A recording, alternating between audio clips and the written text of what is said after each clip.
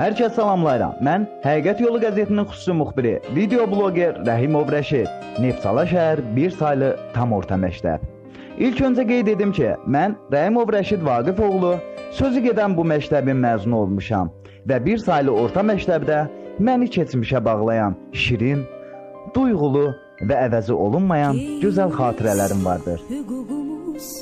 Azərbaycanın milli qəhrəmanı, xüsusi təyinatlı qüvvələrin mayoru aprel döyüşlərində iştirak edib, qəhrəmancasına şəhadətə yüksələn Samid İmanovun adını daşıyan şəhər bir saylı tam orta məktəb həmişə öz uğurları, nailiyyətləri ilə sayılıb seçilən təhsil ocağı olmuşdur.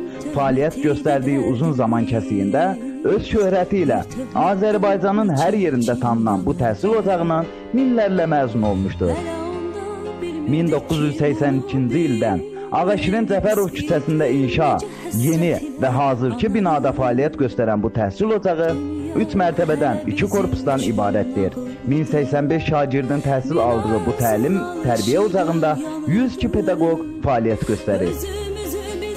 2008-ci ildə məktəb Azərbaycan prezidenti cənab İlham Əliyevin sərəncamına uyğun olaraq Məktəb hər tərəfli müasir standartlara uyğun olaraq yenidən təmin edilmişdir. Yola saldığımız tədris ilində məktəbimizin 60 məzunu olmuş, ali məktəblərə qəbul imtahanlarının ilkin birinci mərhələsinə uyğun olaraq onlardan 35-i ölkənin müxtəlif təhsil ocaqlarına qəbul olmuşlar.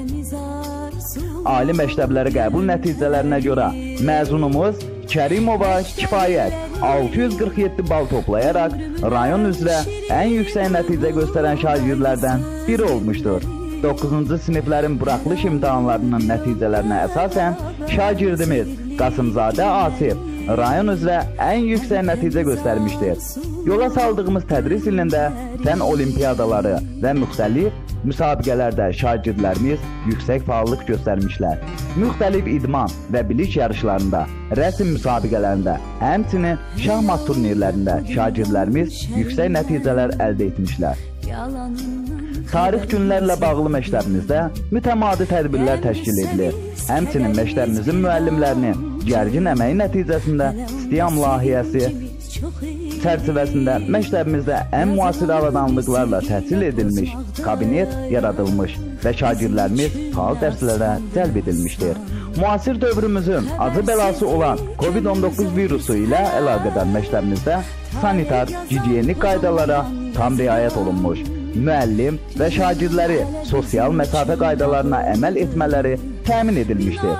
Müəllimlərimiz onlayn və hibrid dərsləri ilə bağlı üzərlərinə düşən vəzifələri şərəflə yerinə yetirmiş. Şagirdlərin hər tərəfli təhsilə cəlb olunması üçün yüksək peşəkarlıqla çalışmışlar.